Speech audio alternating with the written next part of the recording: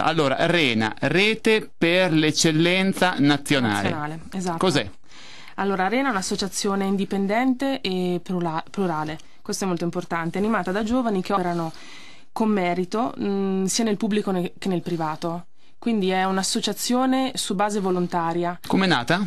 È nata in realtà un, qualche anno fa grazie all'intervento di un gruppo di giovani, Alessandro Fusacchi e Davide Rubini e altri insomma in particolare, un po' alla volta si è sempre più, più allargata, quindi tra contatti tra amici piuttosto che anche tramite la stampa, quindi persone che ci hanno contattato indipendentemente da, da conoscenti o altro e anche tramite i nostri progetti, le nostre attività.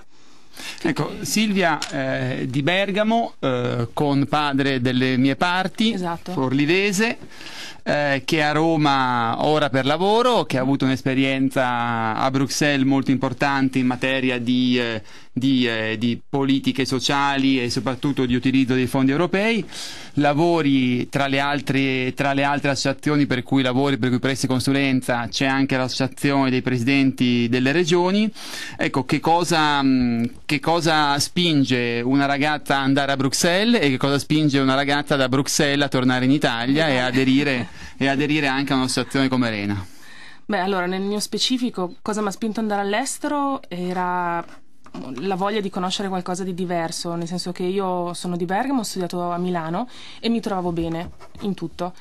Eh, se non che dopo qualche anno ho avuto il desiderio di conoscere altre realtà, altre esperienze. Ho avuto la fortuna di, di avere un pizzico di intraprendenza, quindi da sola, tramite internet, insomma, cercando nei vari motori di ricerca, ho, avuto, eh, ho trovato il link e ho fatto domanda per andare al, alla Commissione europea a fare uno stage senza nessun contatto, senza nessuna conoscenza, insomma ho rispettato proprio tutta la procedura.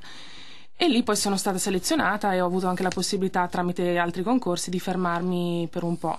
E quanto ti è, quanto ti è servita dire quell'esperienza che hai fatto a Bruxelles? Per me è stata fondamentale, poi ho avuto la fortuna di trovare delle persone molto interessanti che si sono anche occupate di me, si sono prese cura di me, della mia crescita professionale.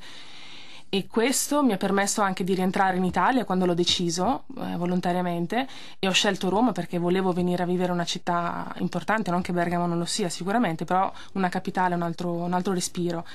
E l'esperienza a Bruxelles è servita perché mi ha permesso di in un qualche modo presentarmi eh, e di poter anche scegliere, insomma, cosa che non, non capita spesso, devo dire. Quindi la mia esperienza all'estero è stata pienamente valorizzata.